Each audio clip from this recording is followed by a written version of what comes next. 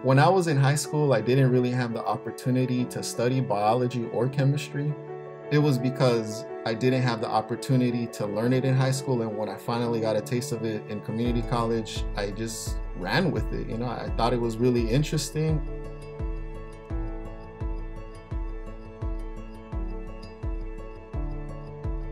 I recognize that there's a lot of people out there that don't study this subject because of some of these barriers that exist in our society, especially for people of color like myself and, and, and others. I did go straight to community college after high school, but I really struggled. I went into community college underprepared.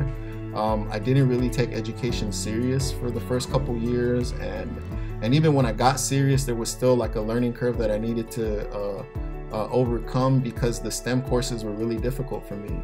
Even when I was in community college, I already knew I wanted to go to graduate school, and, and I believe that CSUN was the best place for me to just to give me the the direction that I needed in order to help me get into graduate school.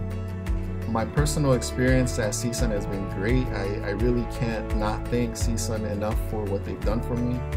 So during the academic years, obviously I was like pushed to my limit with studying and learning chemistry and understanding what's going on at the atomic level.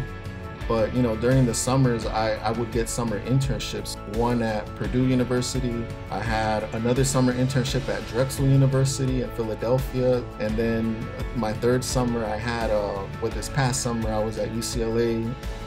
I decided that I'm gonna go to UC Irvine for graduate school to pursue a chemistry PhD my motivation to succeed in college and to get through it was my family. Thinking about my future children at one point too, you know, I don't want them to go through what I went through, what my parents went through, and so then it was it was literally just family that um, that motivated me to get through this experience of college as a first generation student.